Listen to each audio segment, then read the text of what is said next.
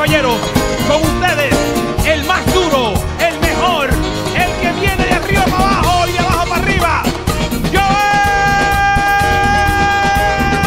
López.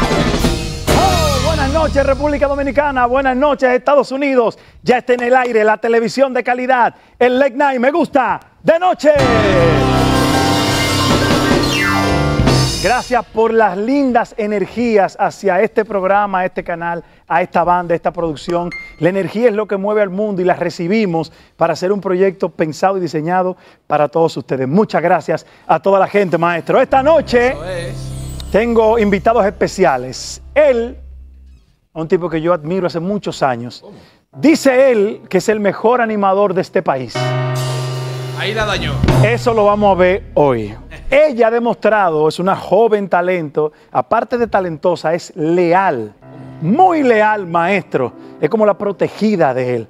Aquí está Frederick Martínez, el Pachá, y Nelfa Núñez. Eso.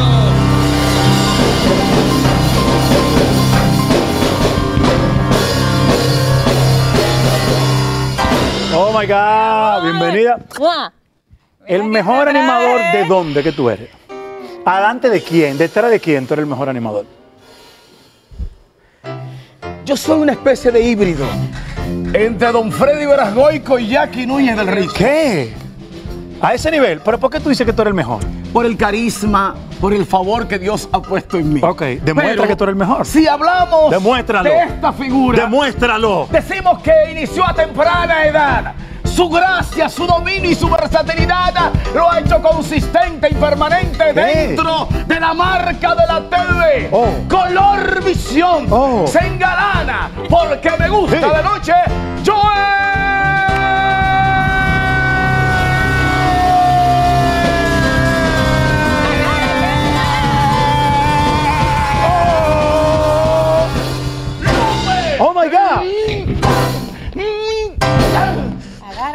No, no, no, no. Mire, espérese.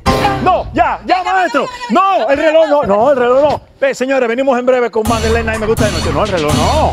Va a romper el reloj. gusta de noche, eso tú lo sabes. Me gusta de noche, y eso tú lo sabes. Continuamos en el Late Night Me Gusta de Noche. Aquí está Frederick Martínez, el Pachá, y mía personal. Cuidado. Nelfa Núñez, maestro. Bienvenidos.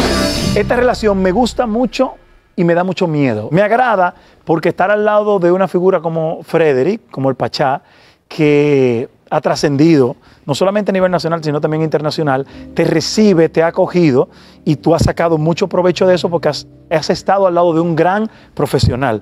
Pero también me da miedo por todos los líos que este maldito loco hace, que tú lo has seguido.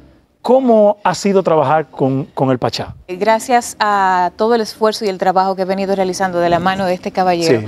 hoy en día yo puedo decir que me siento satisfecha con el trabajo que, que gracias a Dios ha llegado y no tengo ni siquiera palabras y siempre lo he dicho, lo voy a manifestar. No voy a tener con qué pagarle a este señor que está aquí. El esfuerzo que él ha hecho conmigo y sobre todo el haber creído en mi talento y en Claro. mi capacidad para darme la oportunidad y tener el compromiso de estar a su lado. Cuando, cuando el Pachá tiene esos, es- eh, eh, esos arranques, que es un personaje, tú como amiga El se le cruza te ya. sientas detrás con él, Frederick, eh, vamos a bajarle a esto, o tú simplemente lo dejas que él corra y tú lo sigues. Lo dejo que él corra. Sí. Sí, porque luego de tres Miedo, años. ¿no le- ¿eso es miedo a, decirle lo que tú piensas o, o tú piensas que él no te va a Es que hacer yo no lo puedo coartar, Joel, porque ese es el pachá. Automáticamente yo interrumpo algo que esté fluyendo, de- fluyendo dentro Sí. del show. Yo lo voy a, a- a limitar a que sea ese personaje. Y lamentablemente eso es lo que a él le ha dado resultados. Quiero confesar algo. Tú fuiste uno de los responsables de que yo quisiera estar en esta industria. Y te voy a explicar por qué. ¿Cómo comenzaste primero que yo? ¿Un niño? Cuando, sí, pero yo había hecho programa infantil. Ahora, cuando yo soñé en grande, fue cuando yo vi aquel programa que se llamaba Ritmo del Sábado. Una Lo cosa mejor que se ha hecho en este adelantada país. Lo para su mejor. tiempo. Su tiempo. Óiganme bien, ese programa se puede hacer hoy Sí, increíble. y está en el tiempo. Y ver este tipo, joven, energía, una cosa. Yo me acuerdo, yo estaba en Topi Topi y tú estabas en Ritmo Sí, del Sábado. Y yo veía. Dele, maestro. Y, Oh, ah, ah, Ritmo del sábado. Ritmo del sábado. Sigo el relato. Y ver este tipo haciendo aquello, yo soñaba con estar en la, eh, estar posicionado en la televisión porque yo veía aquel showman haciendo de todo. Y de verdad, Frederick, yo extraño mucho ese Pachá. Increíble. Él tenía una edad ya Luis Jorge buscaron a este muchachito. Que me recomienda es Víctor Víctor, a través de Jochi Sánchez en Santiago y don José León de Antena Sí. Latina. Él hablaba despacio, yo hablaba rápido. Sí. Todo era la- eh, eh, él iba di- directo a la masa, nosotros íbamos a un público media alta y juventud. donde se habla tanto que para las mujeres es tan difícil conseguir una oportunidad, para las mujeres cuesta tanto, incluso reciben acoso, reciben propuestas para poder estar en un medio. ¿Ese señor que está al lado tuyo te ha enamorado alguna vez? Nunca. Di la verdad. Es relaja a veces, de que, que, si, que, que si yo me le descuido, que no sé qué, pero ¿Qué eso va a es ser tú él. muerto en vida? Eso es él, de- relajando, pero óyeme, Yo lo que tengo lo mismo hacia abajo, enfoca. Es un museo. ¿Cómo vas a despedir a Nelfa en el momento que le llegue la hora de irse de tu lado? Lo voy a sentir, lo voy a sufrir, pero ella tiene que volar.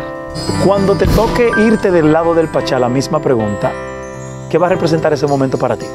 Va a ser muy difícil, de verdad, Joel. Eh, para mí el programa no es, no es como la gente lo piensa, que para, mí- para mí quizás yo tenga que aguantarle algo a Frederick. Todo lo contrario, para mí el show es parte de mi vida, es un desestrés, es algo que yo disfruto, es algo que yo vivo.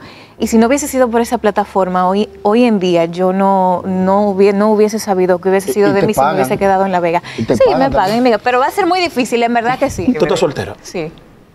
Sí, por casualidad, Dios. que no es. Cuidado. Ese caballero y yo tuviéramos solteros los dos. Ay.